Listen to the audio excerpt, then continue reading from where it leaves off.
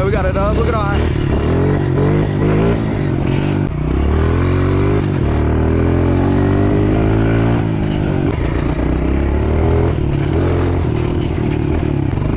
Since we're here, might as well talk about some videos in the past on this channel.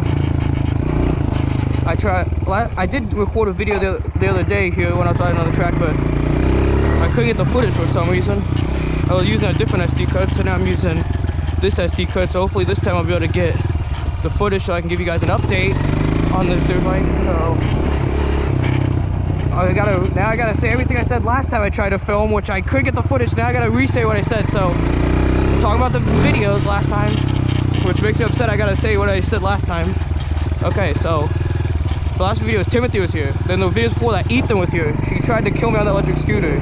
And then, uh, some of you may wonder why he was doing that. I have no idea. I just saw him a few, I just saw him a week ago and he's, we went camping, I saw him a week ago and he didn't say anything. Well, I didn't ask him, but I forgot.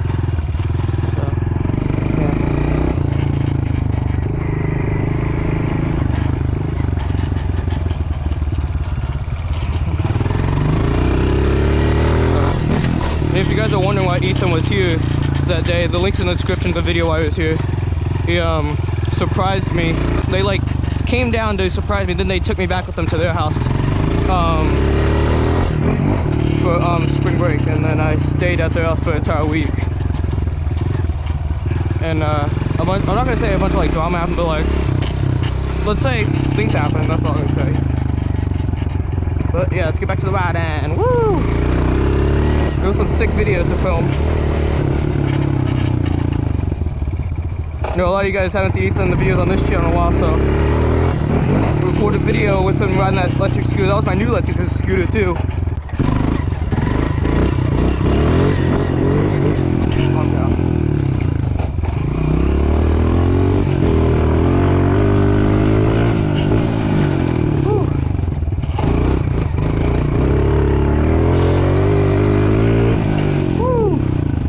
Going fast. Woo. I'm in third, by the way. I don't know, Timothy, if you watch this. I'm in third and I'm like hauling right now. Look at this. Woo. I'm hauling. I haven't crashed once. This dude, Timothy, crashes. If he's in third, he hasn't even gotten to third. He just, last time I was here, he just learned how to go to second on this thing. He's getting better and better at riding this thing. I'm teaching him how to, you know, I'm teaching him how to ride it. He's getting good. He's getting better and better every time. He's doing good. Uh, next time he every time he comes out, I have to teach him how to ride this thing, He, he, he's getting better and better.